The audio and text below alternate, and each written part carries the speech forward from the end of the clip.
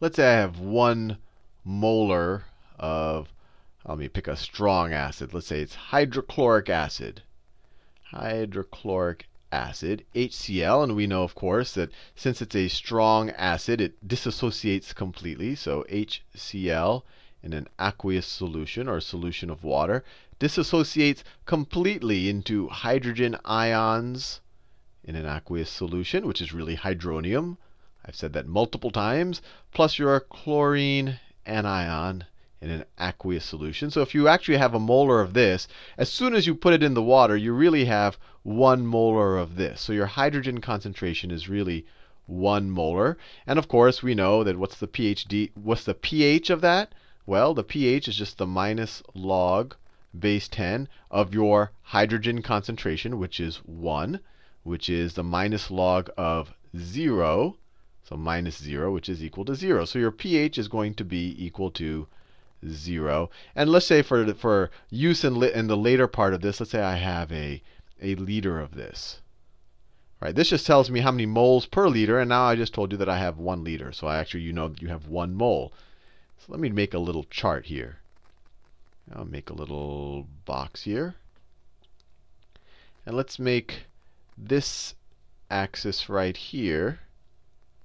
This is going to be my pH. And right when I take that first measurement, let's say this is 0 here, this is 7, and this is 14 up here. When I take that first measurement, my, my solution of hydrogen chloride, or hydrochloric acid, has a pH of 0.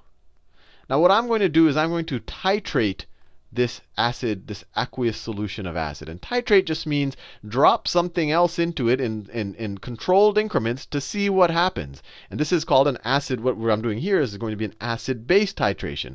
I have an acid here, and what I'm actually going to titrate it with, or the reagent that I'm going to add to it, and the word reagent, I'll the reagent is essentially a reactant that you're that when you view it this way that you're adding to the solution. So it's the titrant. So in this case, my solution already has hydrochloric acid in it. The pH is already 0. But what I'm going to do is I'm going to add a strong base. I'm going to add a strong base. Let's say sodium hydroxide. That's my favorite strong base. And let's say I have a solution that I have prepared ahead of time. Let's say it's a let's say it's a 1 molar solution. 1 molar solution. But I'm not going to add all of it at the same time. I'm going to add it in increments of a tenth of a liter. So let's say it's a, so this is, this is 1 liter that I've added it. And then this would be 2 liters. So this is, so this would be 500 milliliters. 500 ml. This is 1 liter. This is 1.5 liters. This is 2 liters. And so on this axis, I'm going to slowly add more and more of this hydroxide. So what's going to happen? As I add, let's say I add, let's say I add 5, I slowly add, as I slowly add hydroxide, it's going to increase the pH. Why is it going to increase the pH? Because this OH, remember, hydroxide is a strong acid, a strong base. So the NaOH dissociates completely in an aqueous solution to OH minus plus sodium cation, right? Now, if I'm adding this to this stuff here, what, what do you think is going to happen? Well, this stuff right here, these OHs are just going to sop up your hydrogens. So for the most part, obviously everything is probabilistic, and whenever we're dealing with chemistry, there's always some molecules that won't completely react, and there'll always be some concentration of anything. And that's why you actually can never get to a zero concentration of hydrogen, no matter how much base you add, because there'll always be some hydrogen molecules that are that, that are just hiding just perfectly, or they're in perfect equilibrium, so they don't react. But most of them will react. But so as I add more H, these are going to disappear. So my hydrogen concentration is going to go down. The pH is the negative log of that, so your pH will go up. Your pH will go up slowly, slow. Well, it'll look slowly because it's a log chart, so maybe it's doing something like this. Your pH concentration is going to look something like as you add more and more. But you might say, oh, that's such a slow movement. Why isn't it occurring faster? But you have to think about something. This right here, if this is if this is 1, if this is a pH of 1, this means, so at a pH of 0, this means your hydrogen concentration is 1 molar. At a pH of 1, this means your hydrogen concentration is at 10 to the minus 1, which is 0.1 molar. So even though on a log chart it looks like it looks like you would have you've made a very small movement, you've actually gone by a factor of 10 in terms of your reduction of your hydrogen concentration. So roughly, by the time you've add, added, you started off with one molar of of your your hydrogen. By the time you've added roughly 900 milliliters of your of your solution, you probably would have gotten rid of most of it. And obviously the denominator is changing because I'm actually adding volume here, right? Because I'm actually adding this some volume here, so you'd have to add them. But you get the general idea that these these actual molecules of hydroxide are going to react with these things. They're going to essentially turn into water and disappear into the solution, but it's going to lower your so these are going to disappear with that with those disappearing for the most part, which leads in an overall reduction in concentration of your hydrogen ions, which will lead to an increase in your pH until some point where you've pretty much sopped up as many of these things as you can. There'll always be a few of them, but you've sopped up as many of them as you can. And so any incremental hydrogen you add, or any incremental hydroxide you add, will actually go to build the hydroxide concentration, where the hydroxide concentration is going to be greater than your hydrogen concentration. But even better than that, there's going to be some point where you've added just enough of this that you have an equal amount of this and this. You have an equal amount of hydroxide and hydrogen, right? And if you think, well, what happens, first of all, when there's, there's an equal amount of hydroxide and hydrogen? Well, then you're neutral right? If, if, if your hydroxide concentration is equal to your hydrogen concentration, you, you're neutral. This is just like water. You're at a pH, you're at a pH of 7. So there's some point where your hydroxide concentration is equal to your hydrogen concentration, and your pH is going to be 7. And then above that, you're just adding more and more hydroxide. The hydroxide concentration is overwhelming your hydrogen concentration. And so you're going to get really, really basic. And since this is a strong base, you're eventually going to get to a pH of 14 because you're essentially going to have, well, you're not going to have one molar. Let me erase that point. You're going to have half a molar of OHs at the end of this. So your graph is going to look something like this.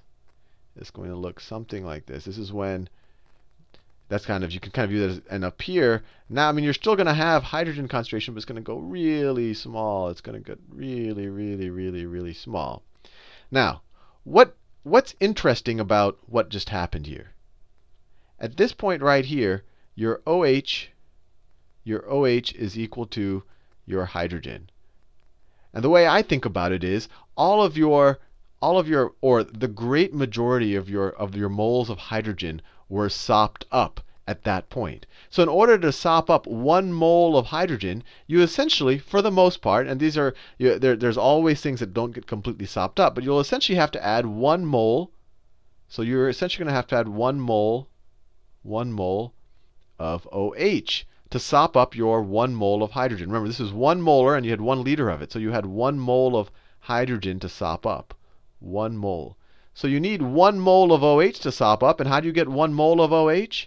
Well, we said that the, the concentration of this solution was 1 molar. So once you put a liter in there, because that's 1 mole per liter, once you put a liter in there, you would have put 1 moles of hydroxide cations in there to sop up the hydrogen. So this was the point. This is the equivalence point where you've essentially you have an equal amount and very low concentrations of both hydroxide and hydrogen. You've essentially sopped up all of the hydrogen, but you also have sopped up all of the hydroxide that you've added so far.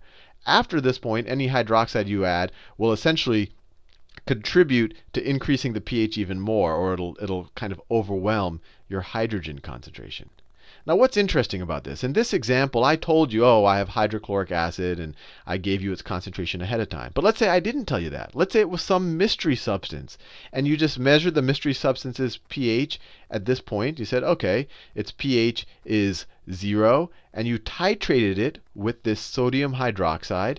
And you said, gee, when I added 1 mole, because you figured out at a liter of this solution, I've added 1 mole of hydroxide ions, at that point, I've essentially eliminated all of the hydrogen ions that were in my original solution. So I must have had one mole of whatever acid this was over here. So this would have told you that my initial concentration was one mole, one mole of H plus. And since we know it's easy to see how much volume you have, you say I have a liter, so you say, oh, my original concentration of this acid is one molar. And you can also know that what you have, what you're dealing with, is a strong acid. Because it's a strong acid, and maybe this will, and I encourage you to watch the next video where I do the same thing with a weak acid. But because it's a strong acid and a strong base reacting with each other, when you have the same number of moles of both, you get exactly to a pH of 7. They completely neutralize each other, and you're into a, you have a completely neutral solution. If you had a strong base with a weak acid, the strong base, once you have the same amount as the weak acid, it would have neutralized it, but you would have also had some of the conjugate weak base left. So you would actually ended up with a basic pH, and I'm going to do that in the next video. But if you see that the equivalence point, if you see that the equivalence point occurs at a pH of 7, you know that you were titrating, what you were dealing with was a weak, was a strong acid because it was completely neutralized, not more than neutralized by the strong base. And what you do is you look at the, and if you want to eyeball where is the equivalence point, you look for the steepest point in the graph because that's the point where you're going from having a majority of hydrogen versus hydroxide to having a majority of hydroxide versus hydrogen. So it creates this inflection in the graph, and you just would have to look at this chart and say, oh, I added a liter of this solution. The concentration of this solution is 1 mole per liter. It's 1 molar. It has a molarity of 1. So I must have added 1 mole of hydroxide to get to this point. So I must have neutralized 1 mole of hydrogen. So there must have been 1 mole of hydrogen to begin with. 1 mole of hydrogen. And since I had 1 liter of solution, I had 1 mole of hydrogen in 1 liter of solution. So my original molarity was 1. Anyway, I don't want to confuse you too much. In the next video, I'm going to try to do the same thing, but I'm going to do it with a weak